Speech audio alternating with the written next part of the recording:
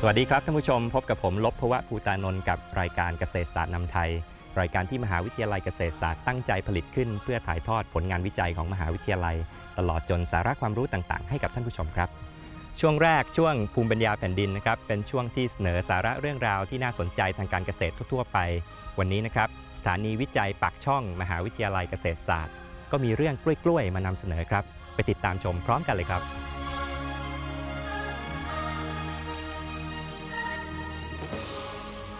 กับวิถีชีวิตของคนไทยนั้น ผูกพันกันมาเนิ่นนานและเกี่ยวดองกันตั้งแต่เกิดจนตาย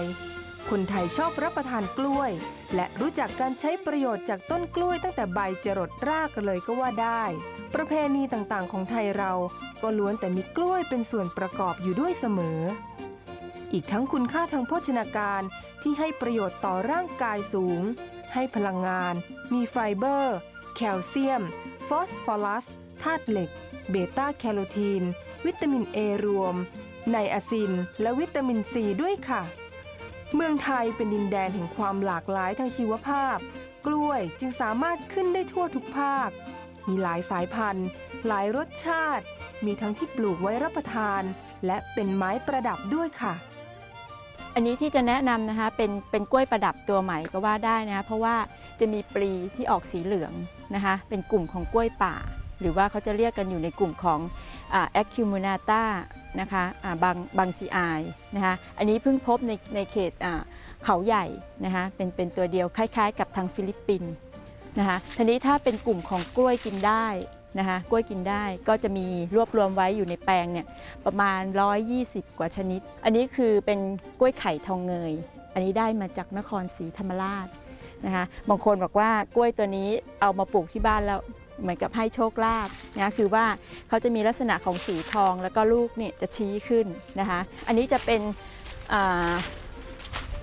กล้วยหอมจำปานะคะ อันนี้ก็เป็นกล้วยทางใต้เหมือนกันนะคะตอนนั้นคิดว่าสาบสูญไปแล้วนะคะทีนี้ทางใต้ก็จะไม่เห็นนะคะ อันนี้จะเป็นรสชาติที่เหมือนกับกินกล้วยไข่ผสมกับกล้วยหอมนะคะ ข้อดีของเขาก็คือเนี่ยรูปทรงกอเขาจะเล็กไม่ลก ปลกสำหรับเด็กๆนะคะแต่บางคนก็บอกว่าเออคุ้นเคยละอันนี้คือกล้วยร้อยหวี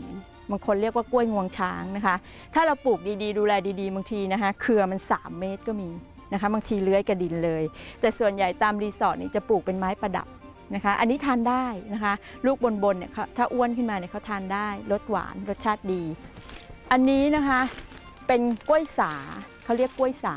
นะคะ อันนี้ก็อร่อยนะคะ เนื้อข้างในของกล้วยสานี่จะออกสีเหลืองส้ม แต่ไม่เปรี้ยวนะคะ เนื้อฟูแล้วก็นุ่มนะคะ สังเกตว่าที่คอผลที่จุกผลเห็นไหมคะเขาจะเป็นจุกใหญ่ๆอะอันนี้จะติดลูกจะเป็นเหลี่ยมๆนะคะ เป็นเหลี่ยมๆทรงสี่เหลี่ยม จะเป็นลักษณะอย่างนี้ของเขาอันนี้เรียกว่ากล้วยน้ำนะคะ กล้วยน้ำอันนี้รสจะไม่หวานเลยรสจะจืดๆ นะคะจืดจืดผิวก็จะสีขาวๆนะคะไม่ไม่มีกลิ่นหอม อันนี้ว่าเรียกว่ากล้วยเขียวนะคะจะเป็นกลุ่มของกล้วยหอมนะคะบางคนเรียกว่าหอมอีสาน บางคนเรียกว่าหอมเล็กเห็นไหมคะเปลือกเขาจะสีเขียวเข้มเลย เวลาสุกนี่ก็จะสีเหลืองสวยแล้วก็มีกลิ่นแล้วก็รสชาติเนี่ยเหมือนกับกล้วยหอมนะคะแต่ผลเขาจะเล็กกว่า กล้วยตานีแล้วเนี่ยจริง ๆ บ้านเราเนี่ยนะคะตอนนี้สามารถจำแนกได้เป็น 3 กลุ่ม บางคนบอกว่าตานีนี่มีอย่างเดียวหมดนะคะอันนี้เราจะมีกลุ่มของกล้วยตานีที่มีต้นที่มีปื้นสีดำเห็นไหมคะอะออกดำๆนะคะ แล้วผลเนี่ยจะมีสีเขียวเข้มนี่นะคะเครือใหญ่สีเขียวเข้มเลย ถัดมาตรงนี้เห็นไหมคะ จะเห็นว่าตานีกลุ่มนี้นะคะ จะไม่มีปื้นสีดำต้นจะเป็นสีเขียว เมื่อกี้เขาจะปิดต้นสีดำแล้วลูกเนี่ยเขาจะออกสีเขียวนวลนะคะ ส่วนใหญ่นี่ตานีนี่เขาก็นิยมใช้ใบทางเขตของสุขโขทัยนะคะอำเภอท่าชัยเนี่ยเขาจะตัดใบขายเป็นเป็นพืชเศรษฐกิจเลย ตัดใบขายอย่างเดียวนะคะ เพราะว่ามีความเหนียวของใบเนี่ยดีมาก อันนี้นะคะจะเป็นกล้วยเล็บมือนางนะคะบางคนบอกว่าเล็บมือนางต้องปลูกได้ทางใต้เห็นไหมคะเขาจะมีก้านใบที่ออกสีแดงๆนะคะต้นเล็กๆ พวกนี้ไว้กอได้เยอะนะคะ สามารถที่จะเลี้ยงนะคะเลี้ยงกอเลี้ยง หน่อได้เยอะนะคะทางทางภาคใต้เท่านั้นที่ปลูกได้ เราก็เลยลองมาปลูกในเขตอีสานในเขตภาคกลาง พบว่าปลูกได้รสชาติหวานหอมเหมือนกัน แต่ว่าลูกของผลจะสั้นป้อมกว่า ทางใต้นี่เขาจะเรียวยาวนะคะ